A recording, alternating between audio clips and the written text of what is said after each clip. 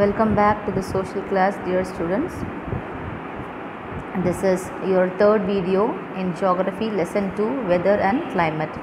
So, last class we just stopped up to this. So, we need to see in detail about torrid zone, temperate zone, and frigid zone. Yes, let's start the lesson. So, come coming to torrid zone. Torrid zone, first one it is a region between tropic of cancer and tropic of capricorn. So if you if you could see the picture you can able to uh, identify. We'll just finish this and we'll then we can skip to the picture. This region receives the direct rays of the sun and gets the maximum heat from the sun. So this area that is this zone torrid zone is receiving direct sun rays from the sun and it is maximum heated okay from the sun. This zone is known as torrid or tropical zone. Torrid or tropical zone. Let's see the picture for more clarification. So coming to this picture. So this is the red colored one is equator and this is what? Very hot. It's known as torrid zone. Torrid zone it is a region between tropic of cancer and tropic of capricorn. You can see tropic of cancer and tropic of capricorn. Okay? So this is in between both tropic of cancer and tropic of capricorn. You can see here. So this is called as what? Torrid zone which is directly heated through sunlight. Sun's rays is directly falling onto it. And it gets maximum heat from the sun. So if you take if you could take the sun is here the maximum sun's rays is falling on this area torrid zone okay? And this zone is known as torrid zone or tropical zone. Next. Second one is temperate zone. This zone lies between Tropic of Cancer and Arctic Circle in the northern hemisphere and between the Tropic of Capricorn and Antarctic Circle in the southern hemisphere. This zone gets the slanting rays of the sun and angle of the sun's rays goes on decreasing towards the poles. Thus, this zone experiences moderate temperature. Now, we shall see the picture for clear clarification.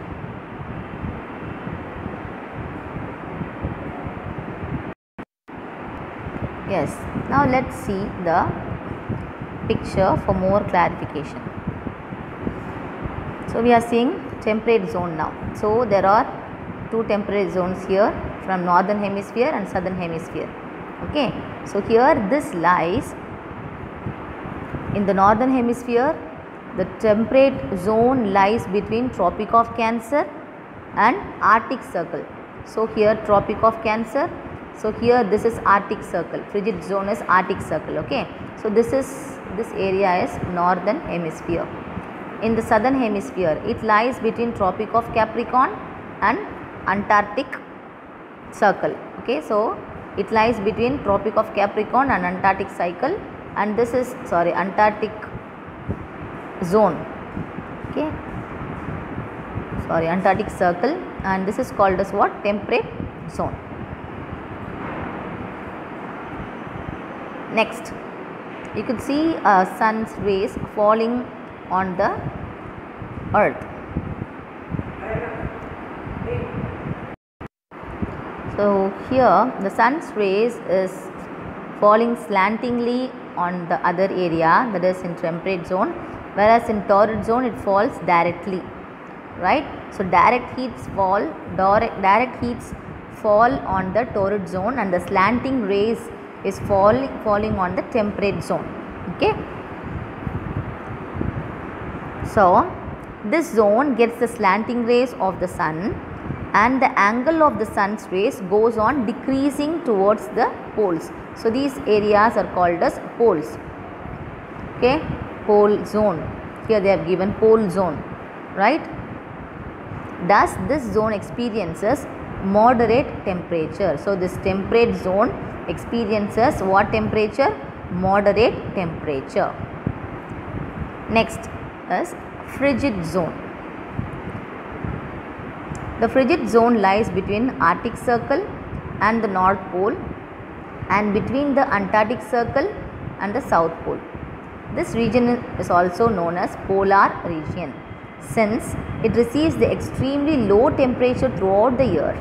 These regions are covered with snow. So, you can see the picture here. So, the sun's rays is falling slantingly that is very slanting. So, this frigid zone receives a very lowest temperature of sunlight okay it receives extremely low temperature okay throughout the year okay and thus this region is called as polar region this is north polar and this one is south polar region okay and this region is extremely receiving low temperature throughout the year and thus these regions are covered with snow next we are going to see highest temperature ever recorded. So, what are the highest temperature ever recorded? The highest temperature ever recorded on the earth is 56.7 degrees Celsius that is 134 degree Fahrenheit. It was recorded on 10th July 1930 at Greenland Ranch of Death Valley which is in California, USA. next lowest temperature recorded ever. The lowest temperature ever recorded on the earth is minus 89.2 degrees Celsius. C represents Celsius here which is minus 128.6 degree Fahrenheit. So, F represents Fahrenheit and 184.00 degree Kelvin. So, K represents Kelvin here. It was recorded on July 21st 1983 at Soviet Vostok station in Antarctica. Next, so this is the picture which is given in your book page number 98. So you can clearly see, so torrid zone is here in the middle brown color okay which is extremely hot. And next temperate zone is in the both the sides northern hemisphere and southern hemisphere. And same frigid zone is in uh, light blue in color which is in North Pole and South Pole. So, in center you can see Tropic of Cancer, Tropic of Capricorn, equator is the center part of the globe and in the southern part you can see Antarctic circle and in the northern area you can see Arctic circle. So, heat zones of the earth. So, next coming to rainfall. So, rainfall is very important for us, right? So, what we are facing now? So, rain is a liquid water in the form of droplets that have condensed from atmospheric water vapor and then become heavy enough to fall under gravity.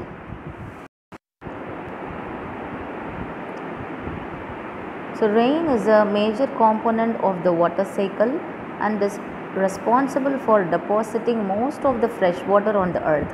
So, once we get rain, it is getting deposited on the earth. Okay. So it is the source of water for all purposes. We use water for all the purposes right? So rainwater is the source for everybody. So there is a close relationship between temperature and rainfall distribution generally rainfall is high in the equatorial region so what is equatorial region so equatorial region is nothing but the center part of the earth is called as what equatorial region okay and in that region it will be high. Generally rainfall is high in the equatorial region and decreases gradually towards the polar region. So, in the polar region there is northern polar region and southern polar region the rainfall will be decreased. So, rainfall is measured by rain gauge. So, this is the picture of rain gauge which is given in your book. So, rain gauge. So, rain gauge. Okay. So, next is the picture which I have taken from the net. So, this is decorative rain gauge. So picture number one shows rabbit and second one rose goes tortoise. Next, a simple rain gauge. This is simple rain gauge. We can which we can use it or do it from our home by using water bottle. So simple rainfall. Measure rainfall with scale. So next one is air pressure. So air pressure they have given an aneroid barometer picture here. We'll see what is it. So this is the picture of aneroid barometer. Yes. The weight of air above a given area on the earth's surface is called atmospheric pressure or air pressure. So what is air pressure? The weight of air above a given area on the earth's surface is called atmospheric pressure or air pressure. The air pressure is measured by barometer. So by using this barometer the air pressure is measured. The standard air pressure at sea level is 1013.25 MB. So MB. What is MB? MB represents millibar. Millibars. Okay, that is MB. At the Earth's surface, the pressure is 1. At the Earth's surface, the pressure is 1.03 kg per square centimeter. The variation in standard atmospheric pressure is found both horizontally and vertically. The standard atmosphere, the variation in the standard atmosphere pressure is found both horizontally and vertically. Okay. Based on the level of pressure, it is categorized into low pressure and high pressure. So, there are two pressures which has been categorized. One is low pressure and high pressure. Low pressure area is an area in the atmosphere where the pressure is lower than its surrounding areas. So, lower pressure area will be the pressure will be very low in the atmosphere okay? In this situation the wind from the surrounding blow towards the center of low pressure. So in that area the wind will be blowing towards the center of the low pressure. High pressure is an area of atmosphere where the barometric pressure is higher than its surrounding areas. In this case in this case, the wind from the center of high pressure blows towards the surrounding low pressure areas. Low pressure system is marked as L. Low pressure system is marked as L on weather map whereas the high pressure system is marked as H. Low pressure system is also called as a depression and cyclone. So that is why we can see in the uh, news and all during the winter season, during the rainy season, uh, in news we can hear that uh, due to low pressure or due to depression, cyclone has been formed. Okay, when low pressure occurs, depression happens and cyclone occurs. Okay, high pressure system is called anticyclone. Low pressure leads to cloudiness, wind and precipitation. High pressure leads to fair and calm weather.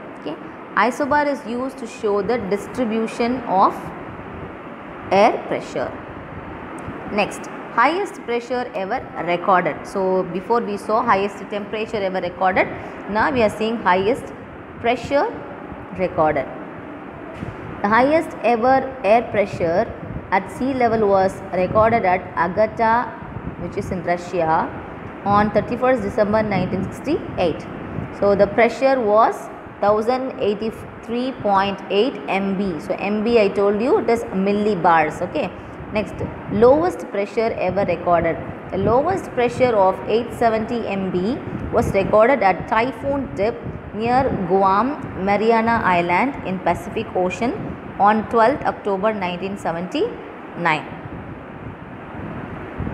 Humans are not sensitive to small variation in air pressure, but the small variation in pressure that do exist largely determine the wind and storm patterns of the earth.